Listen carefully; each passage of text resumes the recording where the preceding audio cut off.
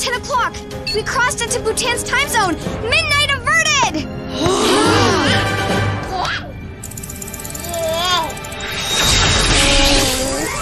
Oh, um, let's never speak of this again.